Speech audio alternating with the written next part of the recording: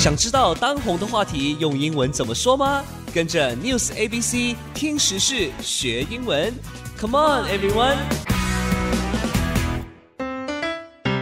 欢迎收听 News A B C，我是文藻外语大学传播艺术系的袁乔。我是宇翔。宇翔，你知道前阵子台东向阳露营区紧急暂停开放的事情吗？为什么？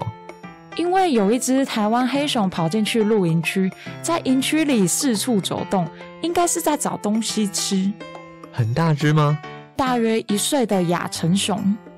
那也还好，有紧急暂停开放，不然后果可能难以想象。是啊，台东领管处有先暂停受理向阳露营区的营地申请。话说，你知道如果遇到黑熊的话，可以怎么办吗？我觉得我应该会先吓到脑袋空白吧。要保持镇静，不要尖叫奔跑，要使用面对台湾黑熊慢慢后退的方式远离。如果它准备对你进行攻击的话，就赶快挥动手上的东西，发出声音，赶快远离。好，我记起来了。那我们就借由这则新闻来学习一些英文单字吧。第一个单字，台湾黑熊，Formosan black bears。台湾黑熊 Formosan black bear。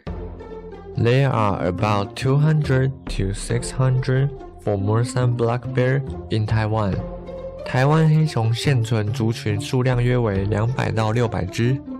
There are about 200 to 600 Formosan black bears in Taiwan. 第二个单字，紧急，emergent。紧急 emergent。 He is bleeding. Please call the doctors. It's emergent.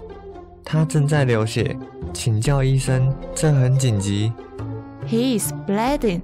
Please call the doctor. It's emergent. 第三个单字，露营区，campsite。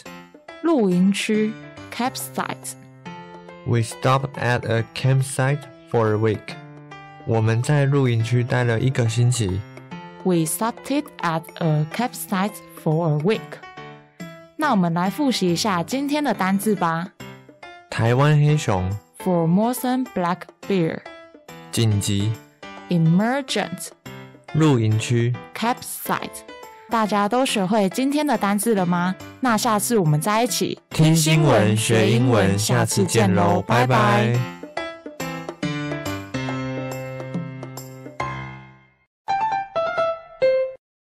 本单元由高雄广播电台与文藻外语大学传播艺术系文藻网络电台合作直播，谢谢收听。